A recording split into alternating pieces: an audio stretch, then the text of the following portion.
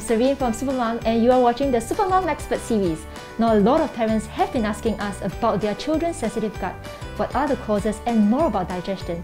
So in this very special two-part series on sensitive gut with Enfagrow A Plus Gentlease, we are going to look into all things sensitive gut and find out what we should do when our kids have a sensitive tummy.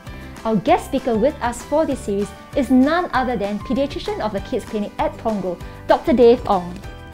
Hi everyone, I'm Dr. Dave Ong and it's great to be here to be able to answer your questions. So jumping straight into it, we've heard a lot about our children's sensitive gut earlier in the previous episode and what we as parents can do to identify signs of a sensitive gut. So let's talk diets. What are the alternatives out there for parents who prefer to give milk? And starting off first, the milk formula. So how is milk formula digested? So the milk formula is digested in the intestines by being broken down by enzymes um, into smaller pieces. So these enzymes digest the milk sugar as well as the milk protein into smaller pieces so that they can be absorbed by the intestines.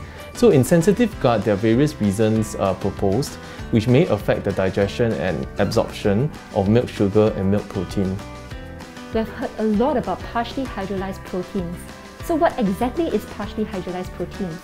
Partially hydrolyzed proteins refers to smaller protein molecules derived from the protein hydrolyzation process. Imagine an intact milk protein. Through the protein hydrolyzation process or PHP, the larger milk protein molecules are partially broken down into smaller milk protein molecules. The smaller milk protein molecules are easier to digest and absorb, hence making it a great alternative for children if they have sensitive tummy. So will the taste profile of the milk change?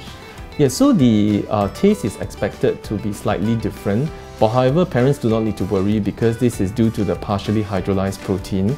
To help the child adapt to the taste of the milk formula, parents can actually mix the partially hydrolyzed formula with the current milk formula gradually over the next few days to allow the child to adapt to the taste.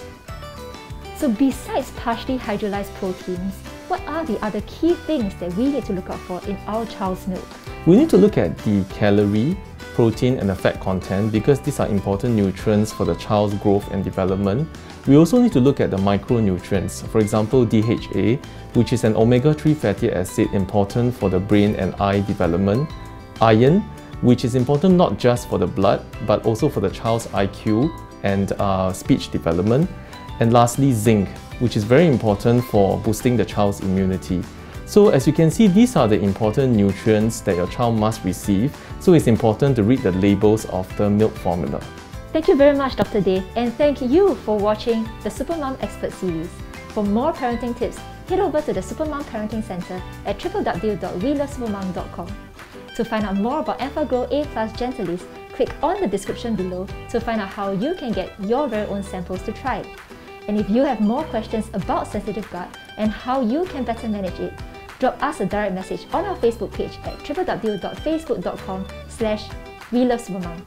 Don't miss out on the rest of the Supermom Expert Series videos. Head on to our website to find the rest of the episodes. And once again, I'm Serene and you're watching the Supermom Expert Series.